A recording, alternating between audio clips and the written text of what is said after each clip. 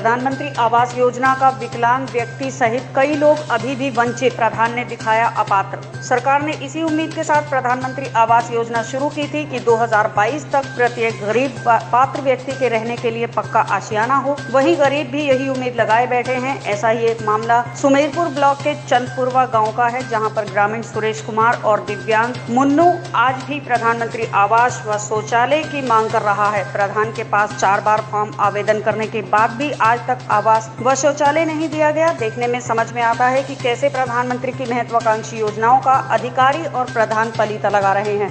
वहीं दिव्यांग मुन्नू जैसे ग्रामीणों को आस है कि उनके कच्चे मकान से उन्हें रहने के लिए सिर पर पक्की छत मिलेगी। लेकिन सच तो ये है कि आज भी गरीब व पात्र व्यक्ति तो योजना का लाभ लेने के लिए सरकारी दफ्तरों के चक्कर काट रहे हैं। वहीं अमीर, प्रभावशाली लोगों को सरपंच से लेकर तहसील क्षेत्र के कई प्रभावशाली लोग शामिल हैं। सभी प्रकार की सुविधाएँ इन लोगों के पास होने के बावजूद भी ये बेचारे अब प्रधानमंत्री आवास का लाभ लेने के लिए गरीब बन गए हैं। मगर गरीब व पात्र व्यक्ति तो अभी भी उप योजना में नाम जुड़वाने व लाभ पाने के लिए धक्के ही खा रहा है। वहीं प्रधान व अधिकारियों की मिली भगत से पात्र व गरीब आवास से वंचित है तो इनकी शिकायत होने के बाद भी किसी ने ध्यान नहीं दिया। क्या नाम भैया आपका?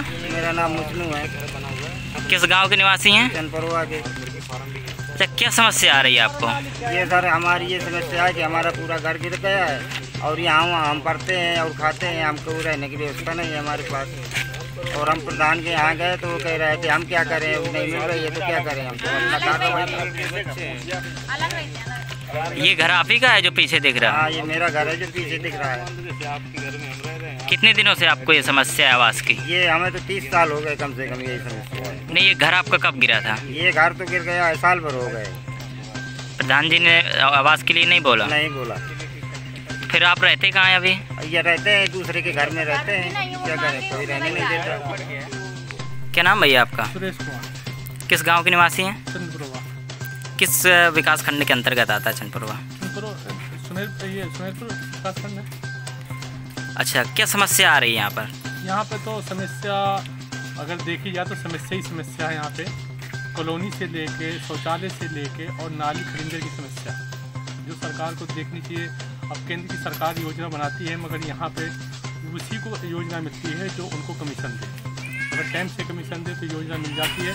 नहीं आप दस साल तक लगे रहो तो आपके बहुत सारी चीज़ की उनके पास ऐसा है उनके पास ऐसा काट देते हैं। आपको क्या समस्या आ रही है? पहले तो हमारा शौचालय नहीं आज तक बना। दूसरा है कॉलोनी के लिए हम दस बार अप्लाई करें। दो तीन बार तो प्रधान जी के यहाँ स्वयं गए हैं तो नहीं वो देते बोलते नहीं आप इस लायक नहीं हो। आपके पास खेत कितने हैं आपके? चार बीघा। ये समस्या है और आप जहाँ खड़े हैं आप देख लीजिए कि यहाँ पे तो मच्छर की समस्या नाली खरिंजा की पूरी समस्या है। आप खरिंजा देखो।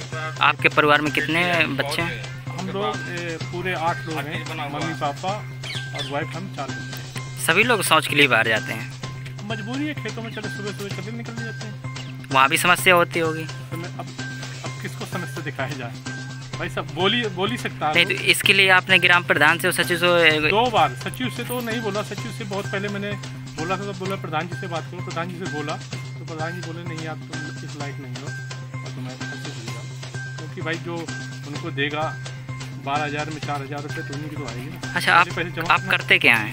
मेरा तो मजदूरी है। फिर जी अपना खेती किसानी में लगे रहते हैं हम भी उनके साथ लगा लेते हैं मजदूरी मजदूरी कर लेते बाहर चले जाते हैं।